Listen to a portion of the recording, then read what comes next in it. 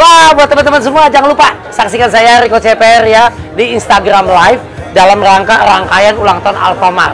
Wah, meriah banget. Banyak artis-artis pula. Siapa aja gitu ya.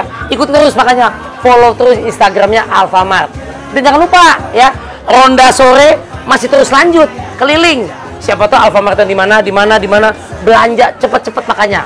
Belanja puas harga pas ya. Cepetan, gue tungguin ya. Nanti gue datengin kalian semua. Oke? Okay?